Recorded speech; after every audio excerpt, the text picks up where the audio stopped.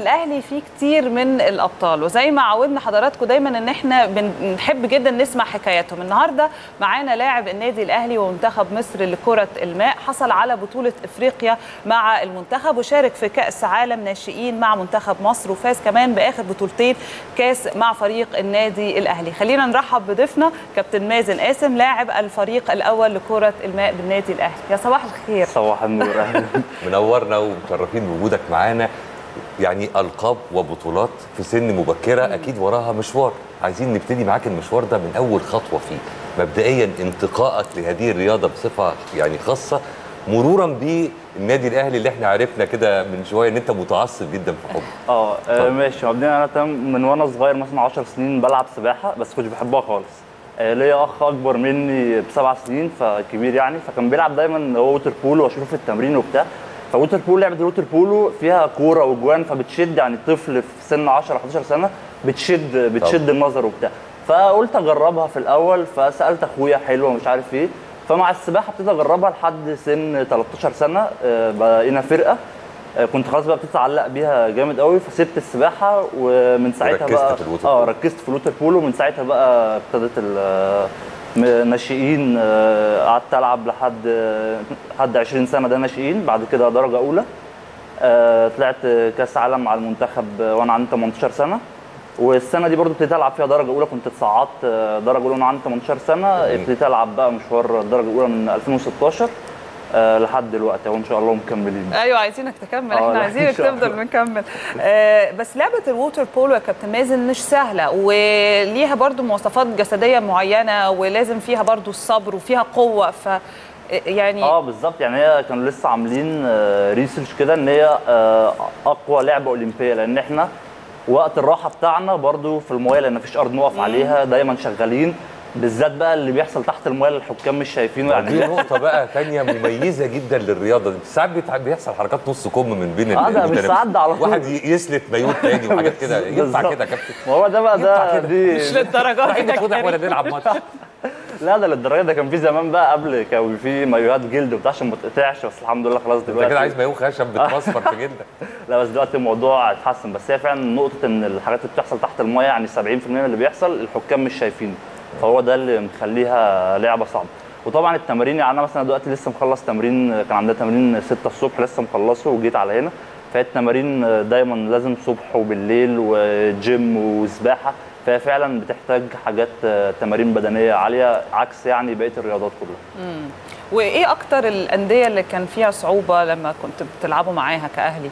يعني إحنا كاهلي إحنا آخر ثلاث سنين في إحنا وجزيرة وهليوبلس البطولات متقسمة ما بين اللي هم دوري وكاس. ده من زمان. آه. ما تطلعش بره الثلاث آه ما طلعش الثلاثه دول. آه في بقى ابتدى يخش آه الزمالك.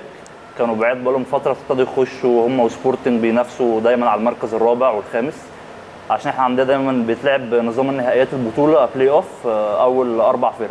فأول ثلاثة اللي هم بيبقى إحنا دايما ما بيننا إحنا وجزيره وهليوبلس والرابع دايما بيبقى دلوقتي اهو بقى له سنتين ما بين آه سبورتنج والزمالك. طب فكرة ال ال التمرينات والتدريب يعني في فترة الربيع والخريف والصيف الدنيا nice آه. لكن فكرة إن أنت تنزل في عز الشتاء والمية متلجة لا بتهيألي بتبقى heated. ولا آه لا المايه بتبقى هيتد بس هي الفكرة بقى مش في المايه الفكرة إن أنت بتبقى أول ما بتطلعي من المية آه لا. وبتبقى كمان يعني أنت اللي بيخليك تسيب السرير مثلا الساعة 4 ونص الفجر أحسن تتمرن بقى قبل الجامعة صحيح. والناس اللي بتشتغل إحنا عندنا برضه ناس كتير بتشتغل فهي الفكرة نفسها إنك بتنزل وتقلع اللي هو اللحظة اللي بت بتنط فيها البسين وتطلع هي دي بتبقى أصعب لحظة أكيد. بس هي الفكرة عشان أنا بدأنا يعني كلنا بدأنا من وإحنا سن صغير 12 سنة وبتاع فالموضوع بعد كده يبقى تعود لكن أنت يعني أي حد تاني تقول له حتى يعني أنا بس والدي ووالدتي بيقولوا لي يا ابني إزاي خليك نايم؟ مش عارف إيه لأن هو الموضوع فعلا بيبقى بيجي أوقات بيبقى أكيد صعب. الوالدة أكتر هي اللي بتخاف آه عليك بتبقى خايف. على... لا أنا والدي كمان كان بقى يعني بتغطيك بالليل عشان أنت تيجي آه. قالع الكلام ده كله ونازل بعد كده. آه لا أنا والدي عادي الصح هو كان لعيب هاندبول كمان في النادي هنا فمتعود يعني على الكلام ده. أكيد. طيب آه،. ناخد على التليفون معانا كابتن آه، وائل عزت رئيس جهاز ألعاب الماء بالنادي الأهلي. يا صباح الخير عليك يا كابتن.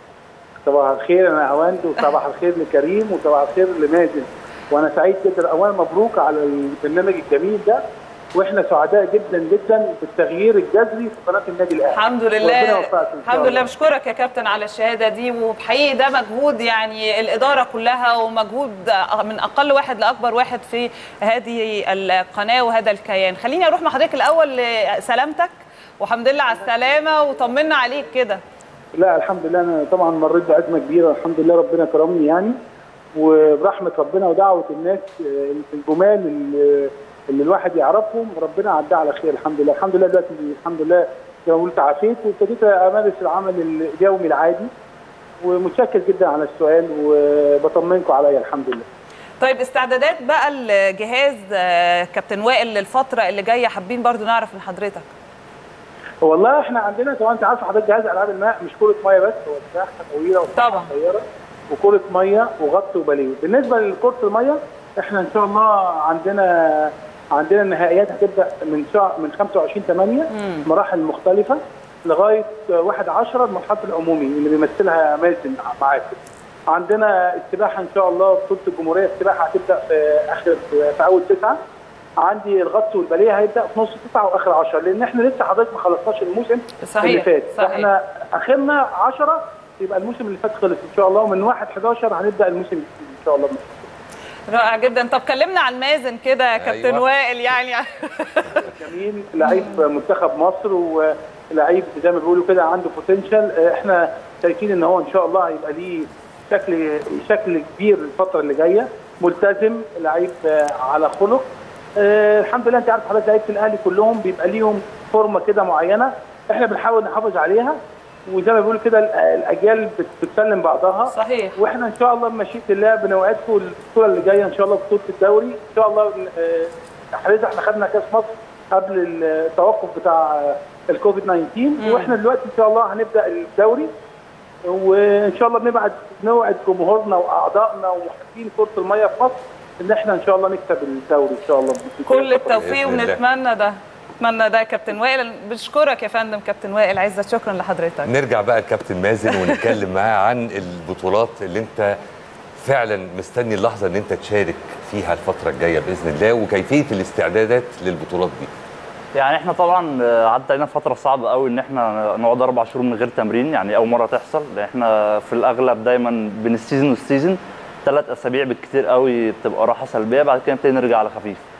فالأربع شهور دول كانت أصعب فترة بس برضو يعني اخذنا ثلاث أسابيع راحة سلبية بعدين ابتدينا نتمرن حاجات أونلاين على Zoom meetings حاجات جيم اللي عنده أوزان حديد في البيت بحيث إن إحنا لما نرجع ما يبقاش مستوانا نزل قوي.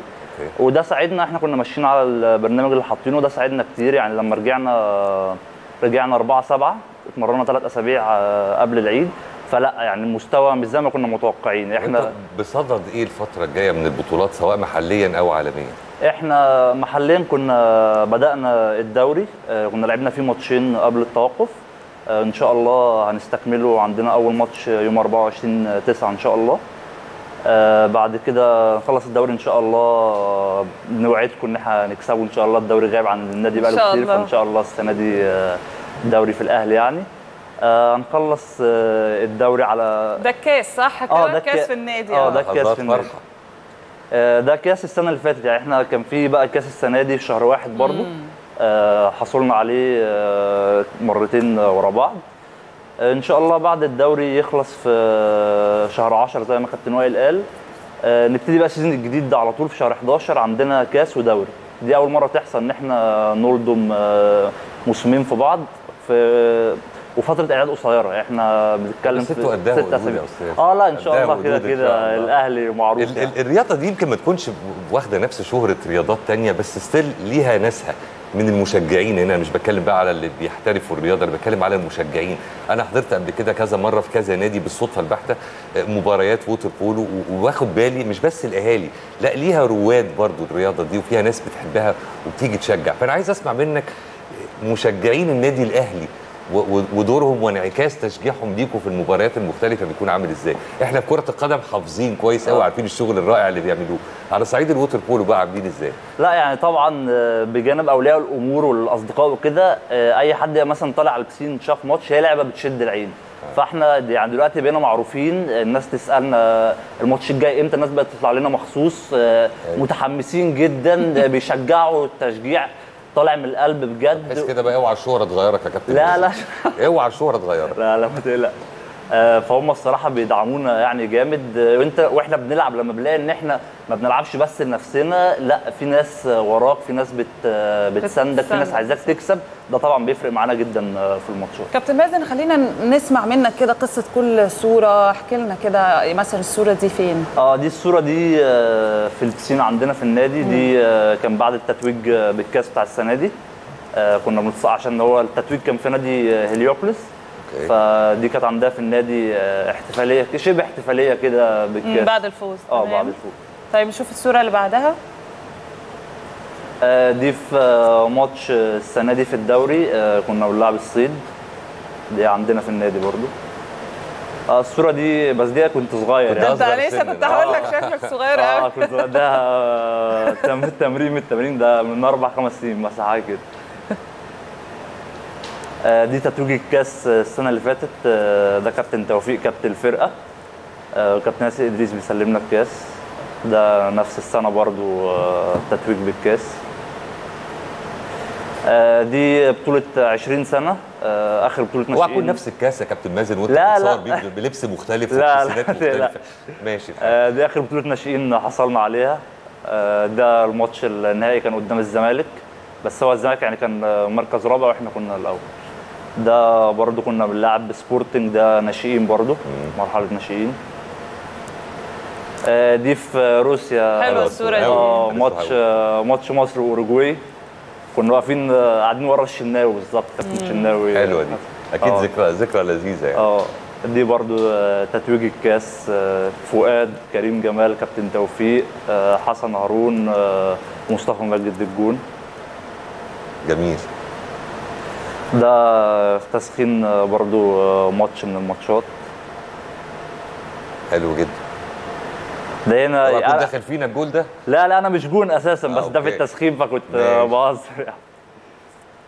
جميل طب هل في على ذكر يعني على ذكر البطولات وانت بسم الله ما شاء الله في العديد من ال- الكؤوس والبطولات اللي أنتم حققتوها هل في مباراة بعينها ما تتنسيش لأن الأحداث اللي حصلت فيها من النوع اللي ما يتنسيش